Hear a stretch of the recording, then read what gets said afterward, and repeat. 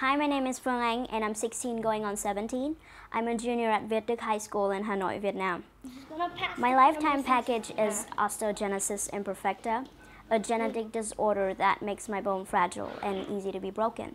But I'd like people to call myself by my alter ego, which is Crystal, because I think that it reflects who I am. It's okay being Crystal. It's okay being vulnerable physically. So that's why I'm proud to call myself Crystal because I want people to see me as a girl who's vulnerable physically but can be hard to break mentally at the same time. My mom is my endless encouragement. She is my heart, my soul, and literally my legs. Between classes, I would just sit and chat with my friends or maybe read books or listen to music.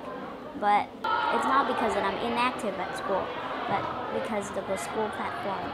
It's not really made for people with wheelchairs to really easily move. So I hope that that fact will change soon. So uh, people like me can do more things on our own. Every Friday, since I was eight years old, I would go to the radio station and record for the Voice of Vietnam. I enjoy doing it because it can reach people in the remote area and help them get updated with all the things happening here. Nothing to lose.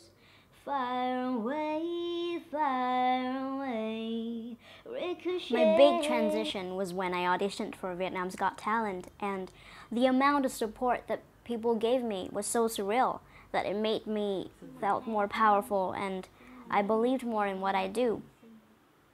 Now people would still come up to me, people with disabilities or not.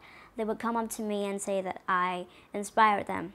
And that's like my biggest goal in life. So what could be more amazing than that?